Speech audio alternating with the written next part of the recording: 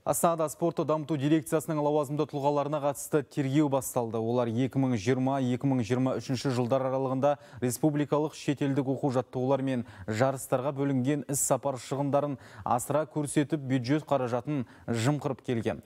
Заңсыз қаражатты мекеме басшылығы алып отырған мемлекетке келтірілген шығын 70 миллион теңге. Оқу жаттығу жиындарын қаржыландыру бойынша оң шешім қабылдаған үшін жаттықтырушыдан 4 миллион теңге пара алғаны да анықталып отыр.